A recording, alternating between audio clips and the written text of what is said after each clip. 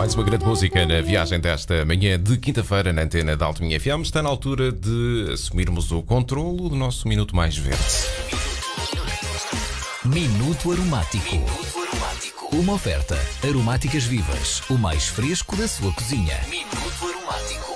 Muito bem, esta semana no nosso uh, Minuto Aromático vamos conhecer um pouco melhor o cebolinho. Uh, muito bom dia, Cristina. Obrigado pela presença uma vez mais aqui aos microfones da Rádio Alto. O cebolinho, tal como o nome indica, é da família da cebola, correto? Bom dia, Rui. Sim, é verdade. O cebolinho é um membro da família da cebola. Podemos dizer que é um primo da cebola. Tem um cheiro e um sabor idêntico, mas mais suave. Muitas vezes aquelas pessoas que não apreciam muito cebola crua por ter um sabor muito intenso, já apreciam mais o cebolinho porque tem um, um sabor mais disfarçado. Muito bem, então podemos usar cebolinho uh, igual como usamos a cebola ou nem por isso? Uh, não. Uh, apenas devemos utilizar o cebolinho mesmo no final dos cozinhados ou então mesmo cru em saladas, por exemplo. Não para não como a cebola que utilizamos logo no início, porque senão o cebolinho iria perder o, o sabor. O cebolinho combina muito bem com ovos, por exemplo, em omeletes, em ovos mexidos, em patês, por exemplo, no patê de atum, colocar lá cebolinho picado combina muito bem no queijo fresco, ou em pratos de peixe, por exemplo, no final colocar em cima do peixe ou em molhos. Muito bem. Quais são os uh, benefícios saudáveis, as propriedades que, que, tornam esta erva aromática algo, uh, enfim, benéfico para a nossa saúde?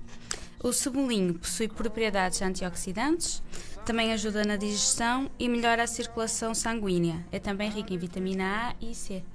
Eu lembro-me que na semana passada um, ehm, falamos aqui do, enfim, de alguns cuidados. Eh, e, e, na altura referiste que o cebolinho não se deve eh, cortar da mesma forma que as outras variedades, é verdade?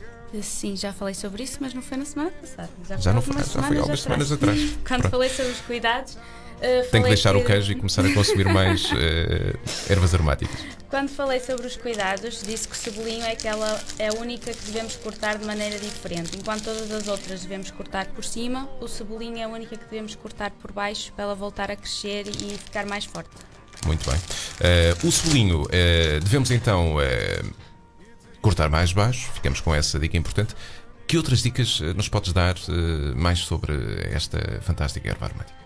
Uh, outra dica que costumo dar é fazer um molho de iogurte caseiro, uh, muito bom para temperar, por exemplo, saladas. Uh, e é apenas necessário iogurte natural, sem açúcar, convém, uma colher de azeite e cebolinho picado. Misturar tudo e temos o nosso, o nosso molho de iogurte. Parece uma excelente ideia, sobretudo até para esta altura do ano.